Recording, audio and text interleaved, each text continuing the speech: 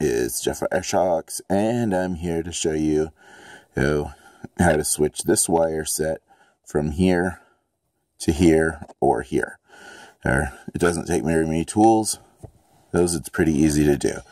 So the reason we want to do that is because right now, uh, as you can see, the wires are going forward, which for some configurations might be okay. But as we look under here, you can see that the holes line up on the oblonged setting of the DJI arms. But what we really want the motor to do is come out here where this hole is. So we're going to switch this standard Emax motor over and I've gotten a couple of tools to make it easy. So this is a fine razor blade. What we're going to do with it is very carefully split this casing out. If you pull one wire a little ways out of it, take a pair of tweezers, pull it off. Boom, it's done.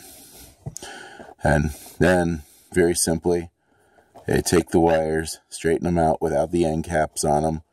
Um, if you have them, um, you might need a solder iron to do that. And we're going to just slip this to the other side.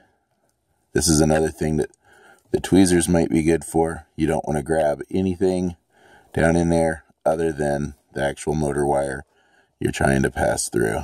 So the first one is usually the hardest. Once you have it slid through sideways, is don't pull on it too hard, just slip it through. Yeah. Same thing with this one. If you want to bend it up a little bit so it comes out where you want it, that's fine.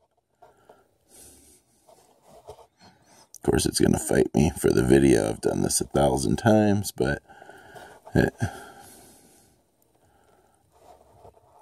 when you make a video about something, it's got to fight you. Yeah. There's number two. I said don't pull too hard. Because the object is not to shear that. Push her down a little bit. And number three through the hole. Just like that.